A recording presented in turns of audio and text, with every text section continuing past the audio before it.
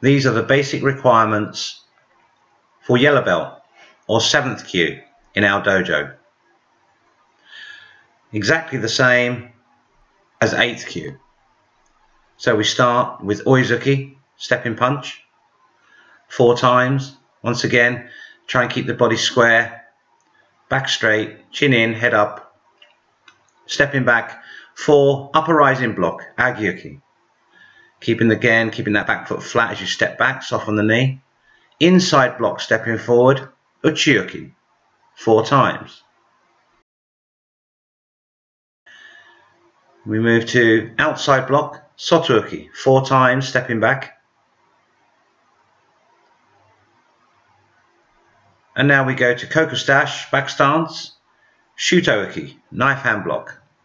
Four times stepping forward, and then four times stepping back. So the basics are exactly the same as the last grading, but the examiners are looking for an improvement in technique in every other aspect of the grading. We now go on to the kicks. Mae Geri Keage, front kick snap. With the kicks, you don't have to kick high. Kick just has to be correct. So try and work more on technique than trying to kick as high as possible.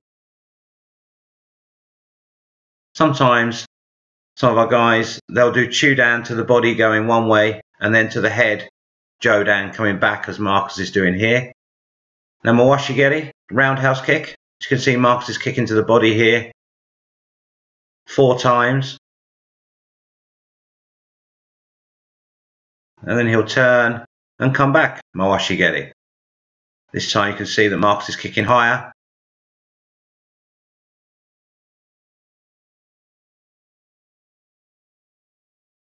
And as the last grade in syllabus, we move on to the side kicks. Yoko Geri Keage, side snap kick. Three times. Nice snap, kicking with the side of the foot, side edge of the foot. And three back.